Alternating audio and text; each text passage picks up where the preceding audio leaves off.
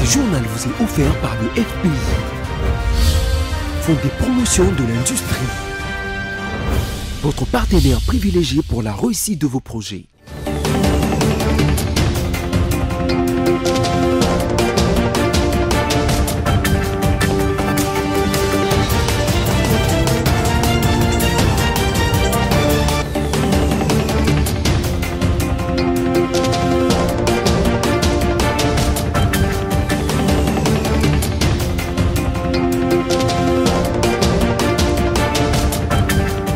Bonsoir à tous, très heureuse de vous retrouver pour une nouvelle session d'information sur votre chaîne. Bienvenue et voici tout de suite les sommaires. Depuis N'Djamena où il se trouve, Félix Tshisekedi est élevé à la dignité de Grand Croix par l'Ordre national tchadien pour son rôle d'accompagnateur dans le processus de transition. Une cérémonie a été organisée ce mardi 25 juin 2024 à Bukavu, marquant la fermeture du bureau de la mission onusienne présidée par la première ministre Judith Souminois. Et enfin, les manifestations se poursuivent au Kenya contre les projets de loi du gouvernement controversés. Des milliers de manifestants ont pénétré dans le Parlement et une partie du bâtiment est en feu. Voilà tout pour les titres. Encore une fois, bonsoir et merci de nous rejoindre. Le facilitateur dans la crise tchadienne qui a connu un dénouement avec l'organisation récente de l'élection présidentielle, Félix Tshisekedi, est en visite d'État à N'Djamena et a été décoré lundi 24 juin 2024 par son homologue tchadien au titre de la dignité de Grand Croix dans l'ordre national du Tchad, presse présidentielle. C'est à 18h45 minutes précises que le médiateur et facilitateur, le président Félix Antoine Tshisekedi Chilombo, atterrit à N'Djamena pour palper du doigt les fruits de sa médiation au processus de paix qu'il a mené avec brio. Une visite de 24 heures placée sous le signe de l'amitié, mais aussi du renforcement des liens entre les deux pays frères.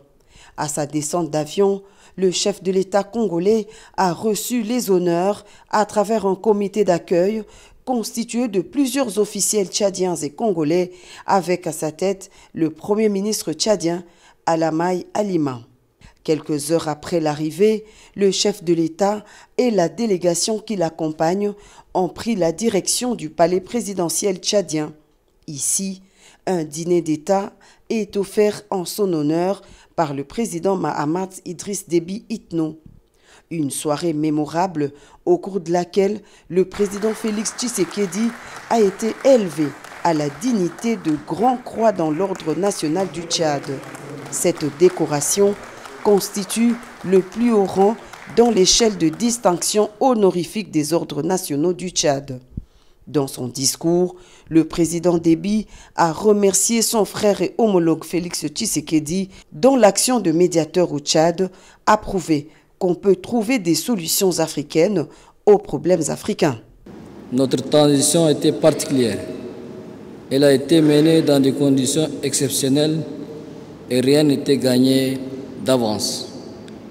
Dans un monde où les calculs et les enjeux géostratégiques s'entremêlent, il est rare de trouver des leaders imbus d'une sincérité et d'une humanité profonde.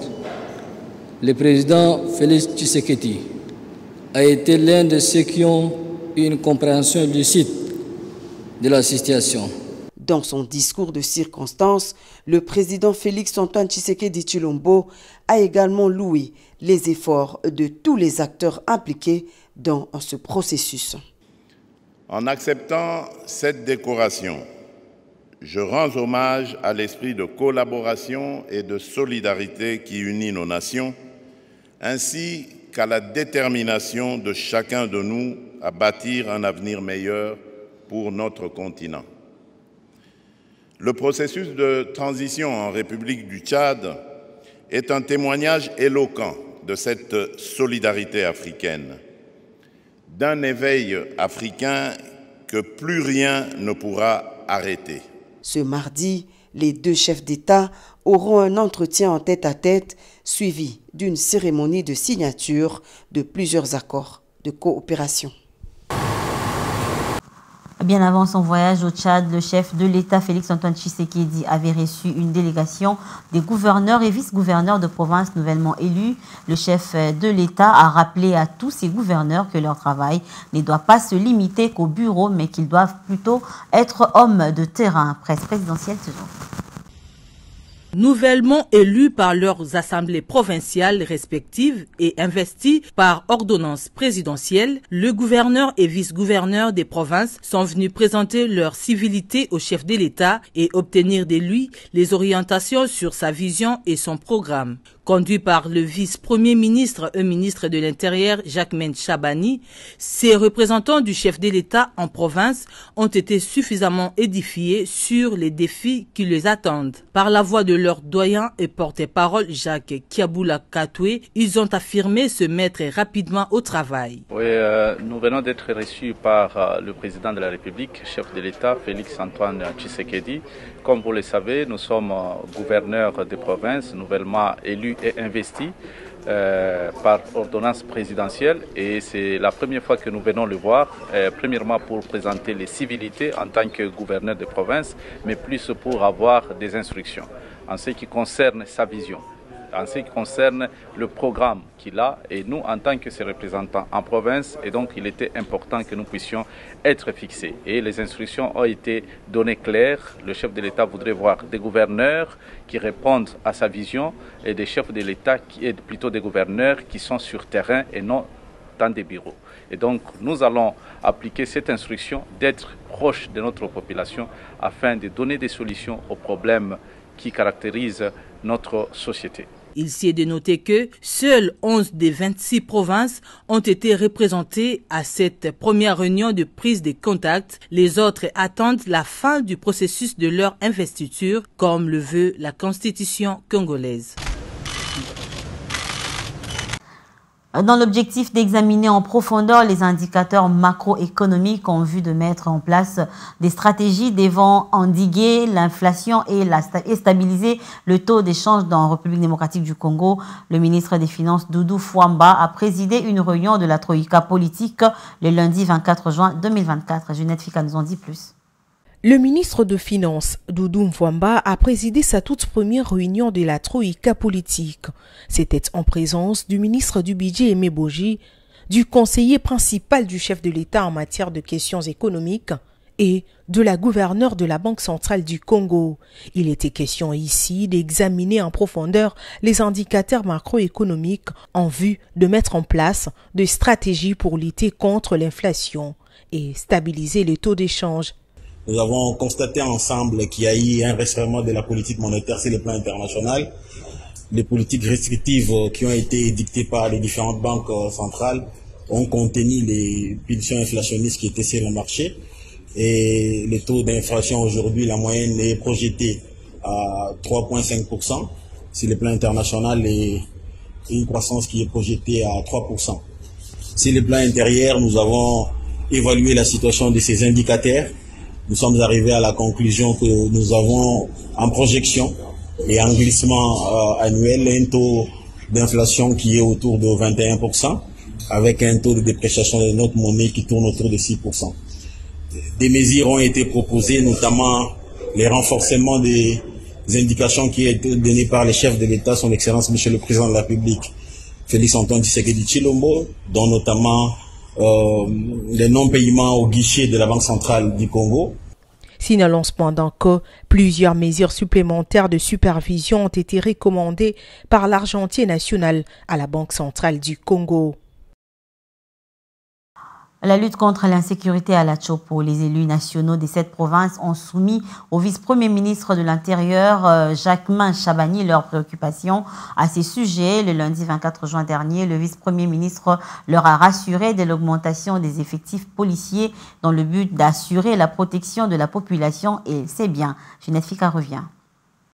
Préoccupés par l'insécurité grandissante dans leur province, le caucus des députés nationaux de la province de la Chopo, accompagnés de leur gouverneur, ont été reçus par le vice-premier ministre, ministre de l'Intérieur, Jacquemin Chabani. C'était dans la salle Virunga à l'immeuble de la territoriale. Ces députés nationaux ont proposé au VPM l'organisation dans les jours qui viennent d'une conférence des paix qui sera animée par les autorités provinciales. La province de la Chopo est secouée par plusieurs poches d'insécurité, notamment dans la ville de Kisangani, dans les territoires de Bafasende, de Basoko, d'Ubundu, de Banalia, d'Opala, euh, d'Isangi. C'est sur euh, ces questions que nous avons parlé. Euh, nous avons eu une oreille attentive de la part du vice-premier ministre qui nous a promis de trouver des solutions immédiates et d'autres solutions qui viendront dans les jours à venir, notamment par exemple pour la question relevant des effectifs de la police, mais aussi nous lui avons fait la proposition d'organisation d'une conférence de paix et de développement pour adresser tout le problème que nous avons euh, au niveau de la province de la Chopo.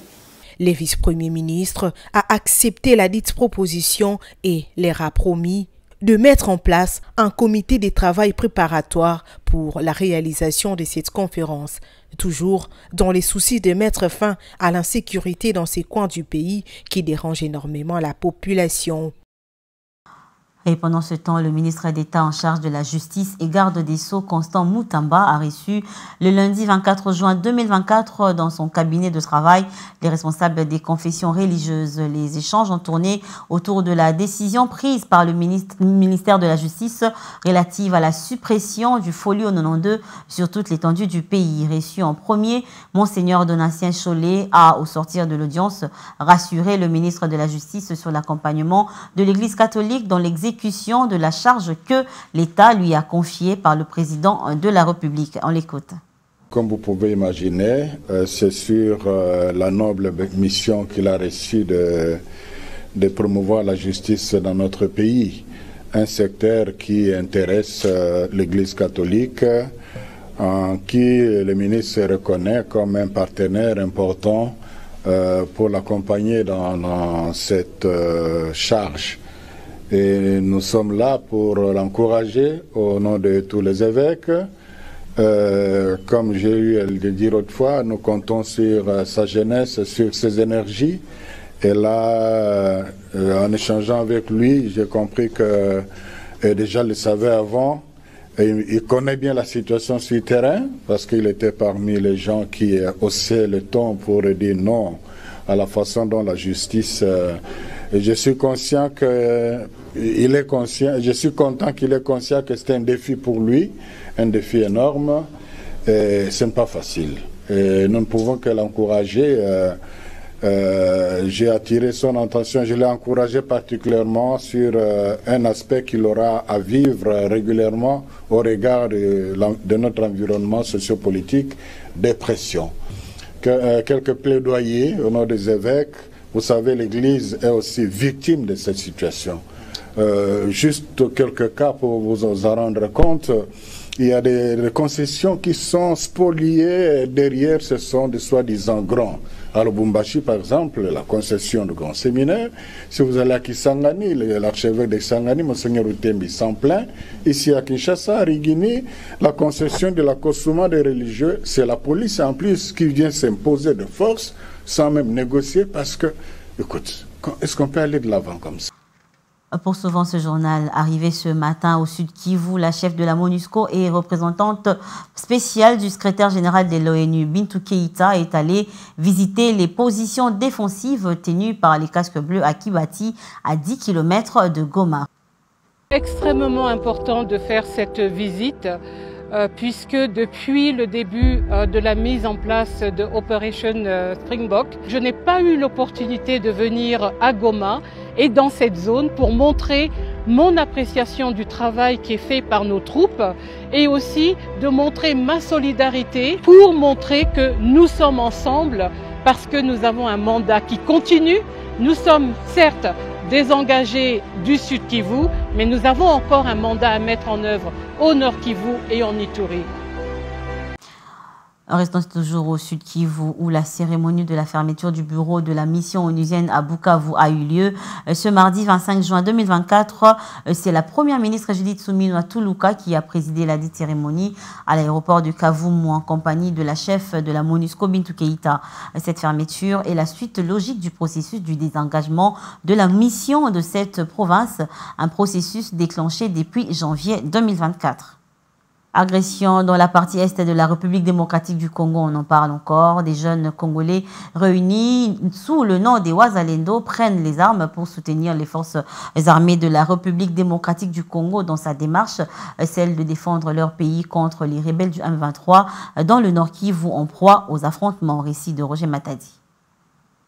Ils ont entre 18 et 25 ans. Ces jeunes Congolais qui se disent résistants patriotes ont décidé de prendre les armes pour défendre leur pays. Ils se font appeler les Wazalendo. Aux côtés de l'armée congolaise, ils affirment avoir repoussé les rebelles du M23 soutenus par l'armée rwandaise loin de la cité des Sake. Affirme Katembo, Faustin, commandant des forces armées des résistants Wazalendo. Si nous avons réussi à repousser les M23, nous avons fait union avec les gouvernements et nous les Wazalendo, nous nous sommes réunis ensemble pour repousser l'ennemi. C'est ce qui s'est passé. Mais je dois vous garantir qu'aucun jour les M23 n'arriveront encore ici. Nous faisons tout pour protéger Sake. Innocent Miyingo, l'un de ces jeunes combattants, a partagé son point de vue sur leur lutte et leur motivation. Si j'ai décidé de prendre les armes, c'est pour défendre mon pays, honorer les drapeaux nationaux et donner de l'espoir à mes compatriotes congolais. Ils doivent comprendre que nous nous battons pour défendre la nation avec amour et unité. Notons que, depuis fin 2021, les territoires des Rutshuru et Massissi, dans les Nord Kivu, sont en proie à un conflit opposant la rébellion du M23 au FRDC. La situation demeure tendue dans l'est de la RDC et les combats semblent loin d'être terminés. Les jeunes résistants Wazalindo continuent de se battre aux côtés des forces armées congolaises pour défendre leur territoire. Et au Kenya, une personne a été tuée mardi 25 juin lors d'un mouvement de protestation antigouvernementale qui a viré au chaos dans la capitale Nairobi après que des manifestants ont forcé les barrages de police et pénétré dans l'enceinte du Parlement. Plus de détails dans cet élément de nos confrères d'Africa News. Les manifestations contre le projet de loi de finances du gouvernement se poursuivent au Kenya. Des manifestants ont réussi à entrer dans l'enceinte du Parlement où les législateurs débattaient du projet de loi controversé qui a suscité une indignation généralisée. Selon Amnesty International, des centaines de manifestants ont franchi les barrières de police devant le Parlement à Nairobi. La police a été contrainte d'ouvrir le feu et a blessé plusieurs personnes. Des échauffourées ont éclaté entre la police et les manifestants dans le centre de la capitale, où étaient rassemblés des milliers de personnes. La police a fait usage de gaz lacrymogène, de matraques et de canons à eau pour disperser les manifestants. Au moins deux personnes sont mortes et plusieurs dizaines d'autres ont été blessées par la police, qui a également procédé à des centaines d'arrestations. Ce journal est terminé, mais avant de nous quitter, pour vous qui venez à peine de vous joindre à nous, voici les rappels des titres. Depuis N'Djamena, où il séjourne, Félix Tshisekedi est élevé à la dignité de Grand Croix par l'Ordre national tchadien pour son rôle d'accompagnateur dans le processus de transition. Une cérémonie a été organisée ce mardi 25 juin 2024 à Bukavu, marquant la fermeture du bureau de la mission onusienne présidée par la première ministre Judith Souminois. Et enfin, les manifestations se poursuivent au Kenya contre les projets de loi du gouvernement controversés. Des milliers de manifestants ont pénétré dans le Parlement et une partie du bâtiment est en feu. Voilà, c'est la fin de ce journal et à vous qui nous avez suivis, merci de votre fidélité et votre attention soutenue. Restez branchés au programme de BC Télévision et quant à nous, on se retrouve prochainement.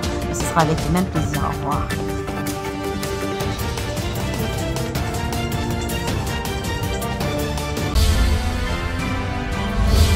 Journal vous a été offert par le FPI.